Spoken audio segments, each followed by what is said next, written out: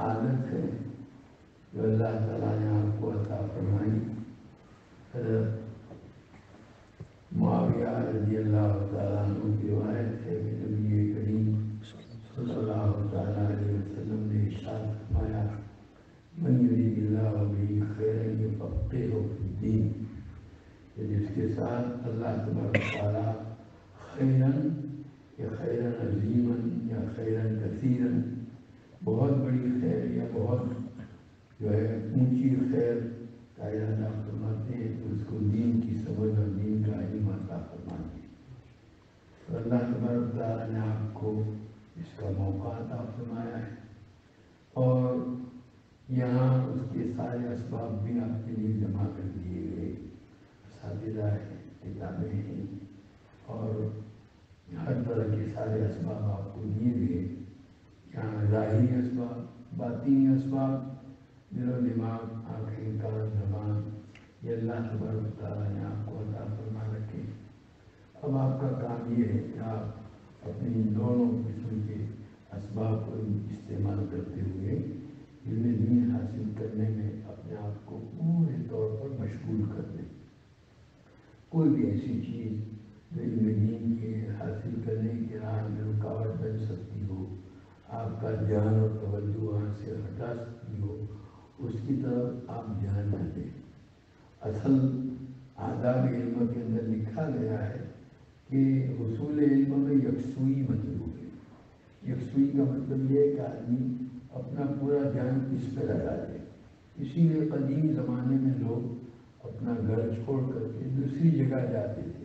کیونکہ گھر پر رہتے ہوئے عام عام طور پر کچھ نہ کچھ ایسی صورتیں پیدا ہو جاتی ہے جس کی وجہ سے آدمی کا دھیان وہاں سے علم سے ہٹ کر کے ان چیزوں میں لگتا ہے۔ گویا ذرہ برابر بھی آپ کا دھیان کسی دوسری چیز کی طرف ہونا نہیں چاہیے۔ علم لا ہوتی کا بعد ہو اچھا ہو کل۔ اپنا اپنا پورا سب کچھ جب تک کہ آپ علم کو نہیں لے ڈالیں گے، وہاں تک علم آپ کو اپنا تھوڑا حصہ بھی عطا نہیں فرمائے گا۔ اس لیے اصل یہی ہے کہ یہاں رہتے ہوئے آپ کو ایسی شکل اختیار کرنی ہے کہ آپ کا دھیان، آپ کی توجہ پورے پوری اصول علم کی طرف ہو۔ اگر یہ آپ کر لیں گے تو ان شاء اللہ علم کا حاصل ہونا آپ کے لیے بہت آسان ہو جائے گا۔ اس کے لیے نیت بھی خالص اور درست ہونی چاہیے، اللہ کی رضا اور خوشنودی کی۔ یہ بھی علم جو ہے، ہمیں یہ بتلاتا ہے کہ کون سے کاموں سے اللہ تعالیٰ راضی ہوتے ہیں، کون سے کاموں سے ناراض ہوتے ہیں۔ آپ علم اس لیے حاصل کر رہے ہیں، اس کو حاصل کرنے کے بعد اللہ کی رضا والے کام کریں گے اور ناراضگی والے کاموں سے اپنے آپ کو بچائیں گے۔ اور اس کے بعد پھر دوسرے اللہ کے بندوں کو بھی یہ چیز پہنچائیں گے۔ یہ نیت ہونی چاہیے اخلاص کے ساتھ کوئی اور نیت نہ ہو اس کے اندر۔ یعنی کوئی دنیا حاصل کرنے کی نیت یا لوگوں کے اوپر جو لوگ علم والے نہیں ہیں ظاہر ہیں، ان کے اوپر اپنی برتری اور قوفیت جتلانے کی نیت ایسی کوئی نیت ہونی نہیں چاہیے اور ساتھ ہی ساتھ آپ کو اس کے لیے بھرپور مجاہدہ بھرپور محنت کرنے کی ضرورت ہے۔ زیادہ سے زیادہ ہمارے اسلاف تو اتنی ایسی محنت کرتے تھے کہ ہم اور آپ کو اس کا تصور بھی نہیں کر سکتے۔ بہرحال اس محنت کا بھی یہ ہونا چاہیے رات اور دن اسی میں لگے رہیے اسی کو اپنا اوڑھنا اور بچھونا بنا دیے کسی اور کی طرف، اور چیز کی طرف آپ کا دھیان نہ ہو۔ موبائل سے تو آپ کو بالکل ایک دم انرجی ہونی چاہیے۔ یعنی آپ کے پاس دوسرے کے موبائل کو بھی دیکھ کر کے آپ کو بے چینی ہو جائے، یہ کہاں کی مصیبت کہاں آئی ہے کوئی زہر ہے، تو اس طرح کہ یہی وہ ہے جو آپ کی ساری یکسوئی کو ختم کرنے والی چیز صلاحیتوں کو برباد کرنے والی چیز اس لیے اس سے دور رہتے ہوئے اپنے آپ کو مشہور رکھیے، اپنے اساتذہ کا ادب و احترام، ایسا ان کے ساتھ اس طرح پیش آئیں، ان کا ادب و احترام بڑھے۔ اس لیے کہ یہ ہمارے لیے علم کی حصول کا ذریعہ ہے۔ اللہ تعالیٰ نے اس دنیا کو دارالاسباب بنایا ہے۔ دارالاسباب کا مطلب یہ ہے کہ ہر چیز کا کوئی نہ کوئی سبب سے تو اللہ تعالیٰ قابل مطلق ہے۔ بغیر کسی سبب کے ہمیں سب کچھ عطا فرما سکتے ہیں۔ اور کبھی کسی بندے کے معاملے میں اللہ کی شان کا ظہور بھی ہو جاتا ہے۔ لیکن عام دستور یہ ہے کہ اسباب میں ہر چیز کا جو سبب ہوتا ہے، اس سبب کے ذریعے سے اس کو وہ چیز ملتی ہے، جیسے اگر آپ دودھ حاصل کرنا چاہیں، تو دودھ آپ کو گائے کے ذریعے سے ملے گا، بکری کے ذریعے سے ملے گا، بھینس کے ذریعے سے ملے گا۔ سونا ہے کہ نہیں اور یہ یہی وہ جانور ہیں جن کو اللہ تعالیٰ نے دودھ انسانوں کو دودھ دینے کے لیے بنایا ہے۔ کوئی آدمی نے ہمیں یہ کہا کہ یہ بکری میں تو شیرنی سے دودھ دوں گا مجھے یہ بکری سے دودھ نہیں رہنا ہے تو اس کو میں لے لوں گا بنا کے ملے گا نہیں سے اگر آپ چاہتے ہیں اسی طریقے سے علم جو ہے اللہ تبارک تعالیٰ اس کا انعقاد فرماتے ہیں استاد کے قلب پر۔ اور استاد کے دل کے واسطے سے آپ پر اللہ تعالیٰ کی طرف سے علوم کا فیضان ہوگا۔ میرا فیضان وہاں ہوتا ہے، وہاں سے آپ تک پہنچے گا۔ آج کل چونکہ کچھ ایسے اسباب پیدا ہوئے ہیں۔ ان اسباب کی وجہ سے ہمارے طلبا کو کچھ غلط فہمی ہو جاتی ہے۔ تو یار یہ کمپیوٹر ہے، یہ سیڑھیاں ہیں، اور اس میں یہ سب کچھ ہے۔ ہم تو وہ چالو کر کے سن جائیں گے۔ ہمیں درسوں میں شریک ہونے کی ضرورت نہیں ہے۔ نیا کی شرح جو ہے وہ کمپیوٹر پہ جو ہے نہیں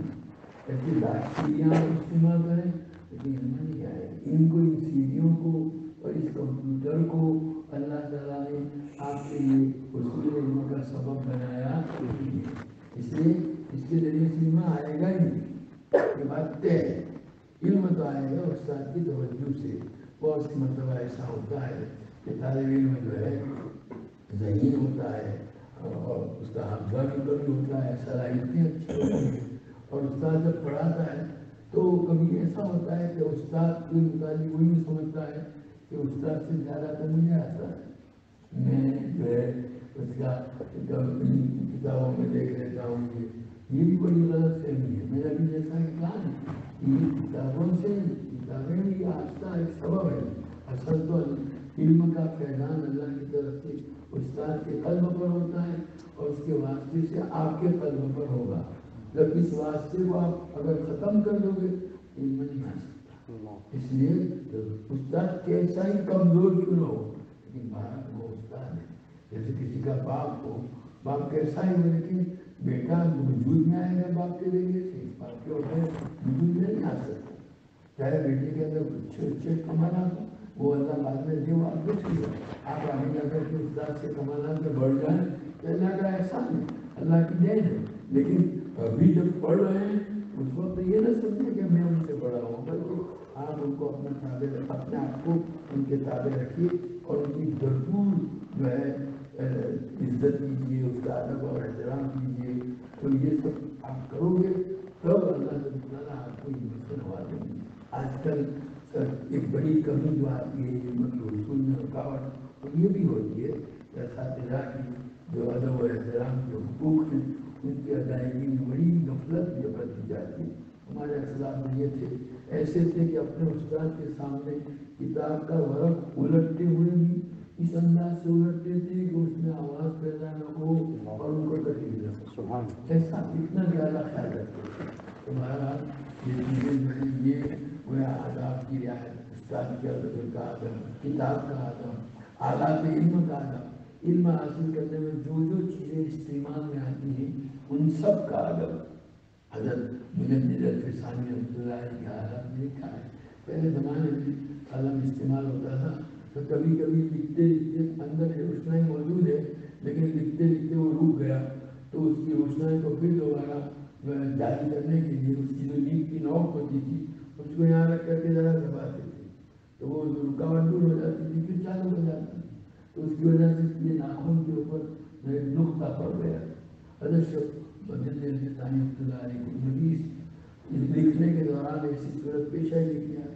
اور وہ وہاں ہم کو یاد نہیں قضائے حاجت کے لیے بیت الخلا میں پہنچے ابھی تو بیٹھے نہیں تھے اور اس پر نظر پڑی وہ فوراً باہر نکلا۔ ہے یہ میرا ہاتھ پر لگا ہوا ہے اور میں اس طرف نہیں باہر نکل کر اس کو دھویا اور اس کے بعد میں اللہ اس نقطے کا اتنا لحاظ اب ہم تو سمجھتے ہیں کیا ہے اس کی کیا ضروری ہے؟ کیا اس کی حالت ہے؟ نہیں بھائی اس کا بڑا اس کا بڑا لحاظ ہونا چاہیے درس گاہ کا ادب کتابوں کا ادب ساتھیوں کے ساتھ محبت ہو اور میں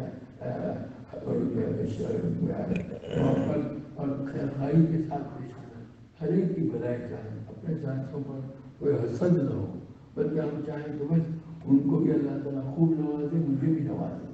تو کسی کے ساتھ جھگڑا یہ جھگڑا جو ہے ویسے بھی برکتوں کو ختم کرتا ہے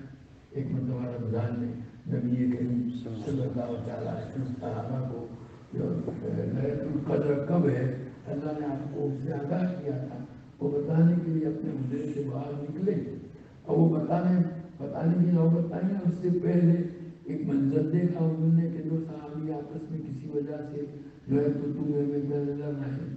ان کا جھگڑا انہوں نے ختم کیا۔ اس میں جو مشغولی ہوئی، وہ جو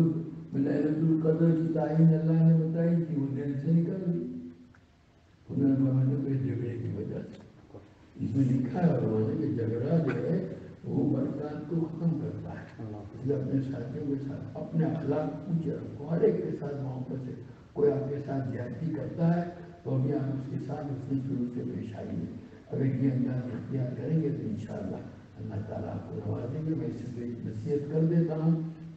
کہ حصول علم کے لیے جن جن آداب کا لحاظ اور خیال کرنا چاہیے۔ وہ اللہ تعالیٰ کے اب یہ علماء نے لکھ دیے کتابوں میں، ہمارے ماضی قریب کے بزرگوں میں، حضرت مولانا سید صدیق احمد صاحب بانی رحمۃ اللہ علیہ۔ ان کا ایک چھوٹا سا رسالہ ہے اردو میں، آداب المتعلمین۔ وہ آپ حاصل کر لیجیے، اس کو دیکھیے اور اس کے مطابق اپنے آپ کو بنا کر علم کے اندر لگ گئے تو انشاءاللہ اللہ تعالیٰ آسان کر دیں گے اللہ تعالیٰ توفیق عطا فرمائے سبحانك اللهم وبحمدك وتبارك اسمك وتعالى جدك ولا اله غيرك اللہ ان طلبا کو علوم نافعہ ہمارے سارے آسنا کے فاضلہ سے آنا فرما اور اس ادارے کو بھی ہر کی طرف سے